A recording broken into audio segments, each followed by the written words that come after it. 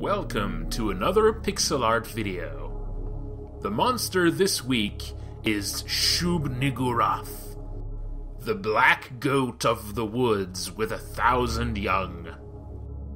She is a deity or great old one of the Cthulhu mythos of H.P. Lovecraft. She's also called the Lord of the Wood. She's never actually described in any of the stories. Only uh, named in incantations and sometimes alluded to. There's also a bit of a debate on whether the phrase, the black goat of the woods with a thousand young, is actually meant to refer to uh, Shub-Niggurath herself. Some of the wording and phrasing uh, in the in the parts of the text referring to them seems a little bit ambiguous. That makes some believe that the black goat could be more like the name of some sort of herald of Shub-Niggurath. Or maybe the name of some sort of false idol, some sort of false deity, used as a proxy for Shub-Niggurath that probably takes a form a little bit more acceptable to human minds. So, like, you can imagine a pagan cult in the woods, dancing around and worshipping a little, little devil-looking uh, statue. But in reality, they're they're playing with something they don't fully understand. And that goofy little goat man statue, in reality, stands for something much more sinister. Something that if you saw it, if you saw its real form, maybe even just a representation of its real form, you might go mad. But yeah, anyway, it's not it's not super clear what if that was the actual intention. Since H.P. Lovecraft was uh, actively encouraging other authors to uh, cite and borrow ideas from his stories. I'm sure there's been a wealth of different interpretations of, uh, of Shub-Niggurath, uh, one way or the other, from other authors uh, inspired of the Cthulhu mythos. If you look at artists' renditions of Shub-Niggurath online, you see quite a bit of uh, of designs that kind of incorporate the idea of a, of a goat with a thousand young in it, but also a bunch of completely, completely alien tentacled creatures. Obviously enough, for uh, for my attempt, I went with the latter. I drew this monster for fun mainly, but that story about uh, a goofy little goat man uh, you know, being a proxy for something different and sinister. That might inspire the the actual implementation of uh, Shub-Niggurath in my game.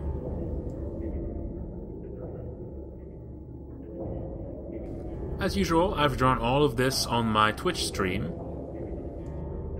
Check the video description for a link to my Twitch channel. I stream every night at 8 p.m. EST, except on Mondays. This was another of those monster designs with so many little bits that it, it really took forever to detail. A bunch of wiggly arms and crab legs. I think all the arms, uh, with how they're shaded differently, does a pretty good job of giving that monster depth. I think it looks really good over a dark background. I might have gone a little bit overboard on the googly eyes for her here.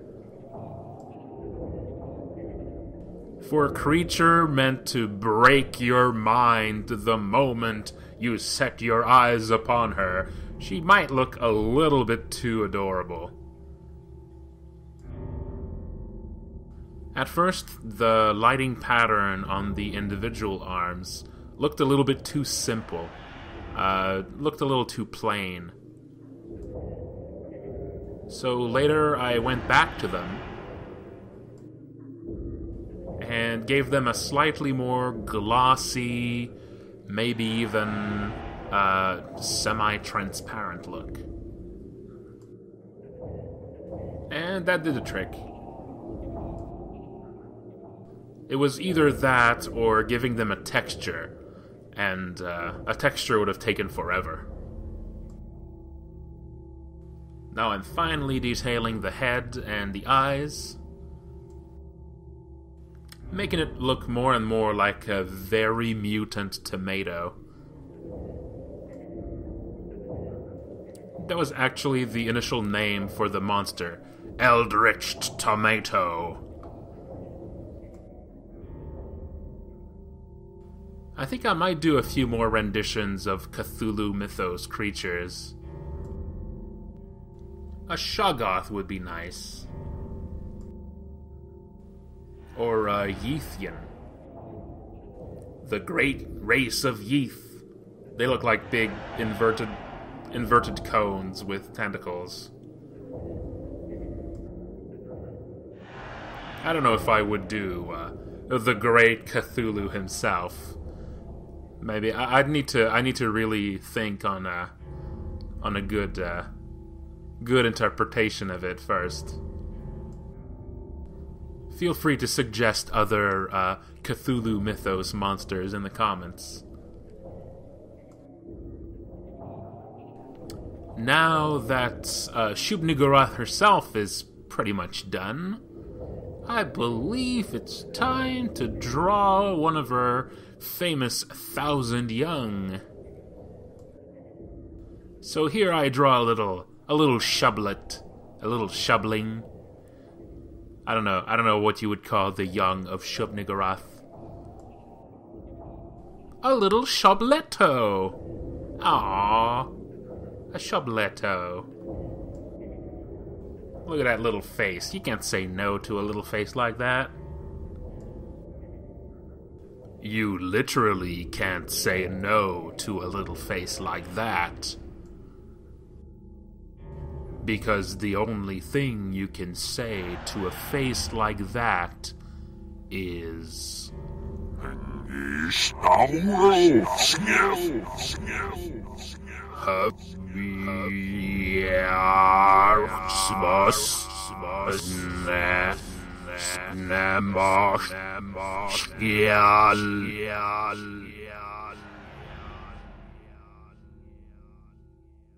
Thanks for watching. Like, comment, and subscribe.